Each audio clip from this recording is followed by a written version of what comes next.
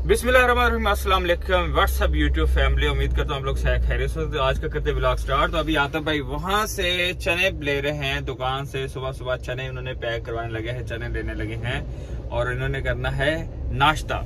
हम, आज हमें मिले हैं अनार। ये अनार और इधर लगे केले। केले अक्सर लेते हैं, लेकिन आज जो है अनार बाय करते हैं। कि अनारों का क्या रेट है? ये मेरा ख्याल है रेड इसके अंदर रेड जो है ना, इसका दाना होगा। अभी, अभी मैंने अभी मैं गाड़ी से बाहर आया हूँ तो यहाँ से जो सेब है ये सस्ते से लगाए हुए तो सेब है लेकिन मैंने जो है ना है जाके लेने हैं कुछ केले।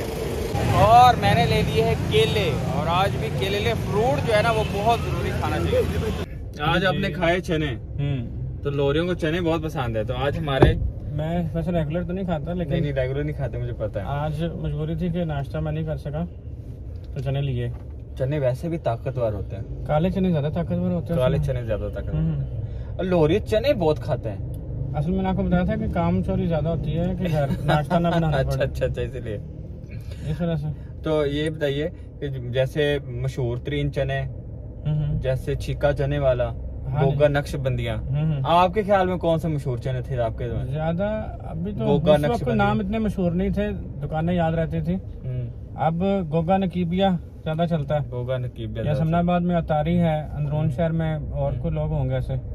तो हर एरिया में जिसका टेस्ट लोगों को पसंद आ जाता है उसे फ़ेमस कर देते हैं। तो जो लोहरिये जो है ना चने बड़े ही शौक से खाते हैं और उनको हम्म। पसंद भी बहुत है लोरियों को चने तो जो हमारा जो टॉपिक इसी पे चलता रहेगा लेकिन इसमें सेहत के हवाले से आप क्या कहते हैं? सेहत के हवाले से कि अंदर ताकत इसकी नहीं नहीं, नहीं अगर घर के बने हो तो फिर तो लज्जत उसमें है। अगर बाज़ार के हैं तो उसमें वो जो घी यूज़ करते हैं वो ज़्यादा हाँ।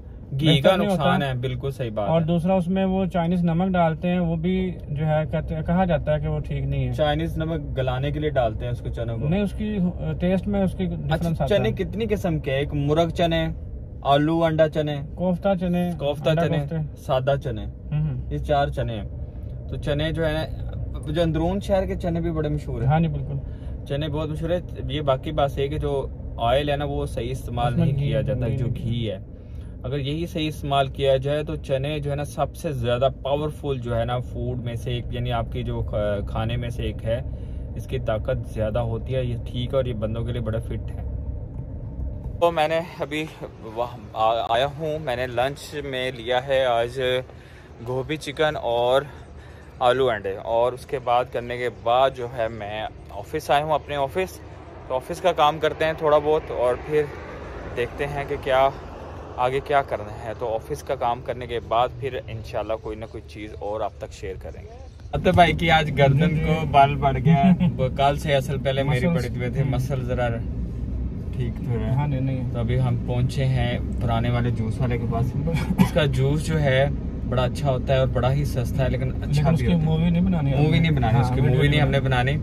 वैसे हमने कस्टमर्स को वैसे बताना है कि पब्लिसिटी नहीं करनी। उसकी वजह यह है कि वो नहीं बनाना चाहता लेकिन आपको ये ज़रूर बताएँगे कि आप यहाँ पे अगर गुजरे इकबार टाउन से तो इस एरिया में आपको एक इकोनॉमिकल अच्छा म्यारी जूस फ्रेश जो है ना वो इससे मिलेगा। ये ज़रूर मैंने बात आप तक पहुँचानी है। गर्दन को बाल आपका पड़ गया मेरा ख्याल है कि सराना सुराना इम्बेलेंस है। हम्म, अक्सर जो गर्दन को बाल पड़ता है ना आप जब सोते हुए या लेटते हुए जब आप इम्बेलेंस सही तरह हमवार नहीं होते ना या कुछ ऐसा हो जाता है जिससे बाल पड़ जाते हैं पट्टे खिंचाव हो जाते हैं। हाँ तो ये इसका बड़ा बड़ा ख्याल रखना चाहिए बड़ी ये पेनफुल है।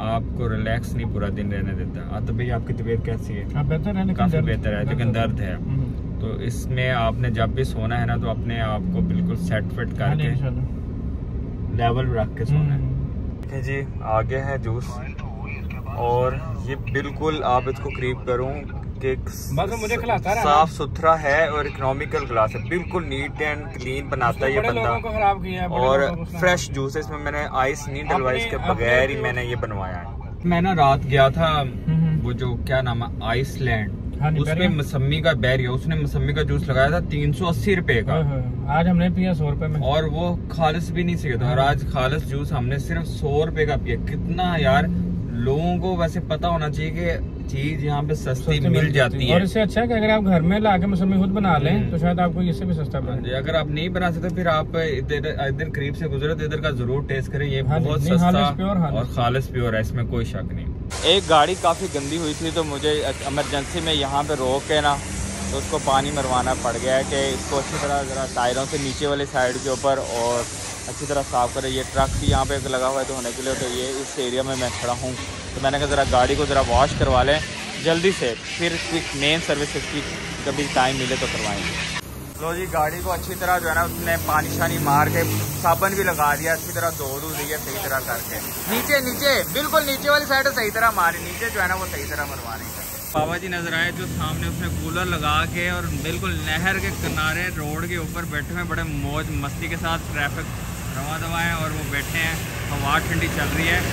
और ये देखिए ट्रैफ़िक का शोर भी साथ साथ लेकिन वो अपनी मौज मस्ती में बहुत ही पुरसकून बैठे हैं। तो आज जो बताया गया था उसमें ये कि सिर्फ़ एक सौ रुपये में आप अच्छा फ्रेश ताज़ा मौसमी या ग्रेप फ्रूट का जूस पी सकते हैं।